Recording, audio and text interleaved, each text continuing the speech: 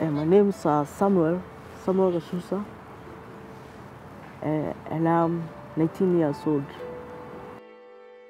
When I got diabetes, I was about 9 years old. In order to, for me to survive, I must have uh, the insulin. My mother was not able to manage to purchase for me the insulin, so sometimes I could even stay without. I have been experiencing uh, many problems.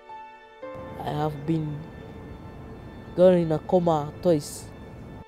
I have been gone, done operation to be removed cataract two times the, my in, bomb, in both of my eyes.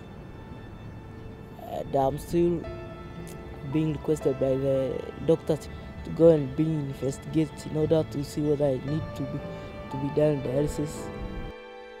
We'll do your best, but I'm still struggling to, to work upon life and go up with it. And I stay just like a, a person without even even even hope.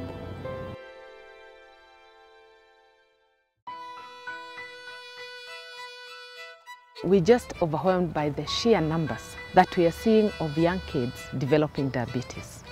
Year in, year out, we are seeing bigger and bigger numbers, younger and younger kids. We've seen children as young as one year old. The struggle for them is so big that even to get to adulthood, it is a struggle. 75,000 children aged 1 to 14 get diabetes every year. With proper diagnosis, management, and access to insulin, a child can lead a normal life. But many, like Samuel, suffer severe complications, and many don't survive. It is outrageous that a drug that was discovered in 1921 is not accessible to everyone who needs it in the world. In fact, it is unacceptable that children should be dying because of lack of access to this life-saving drug, insulin. We have to do something to redress the situation.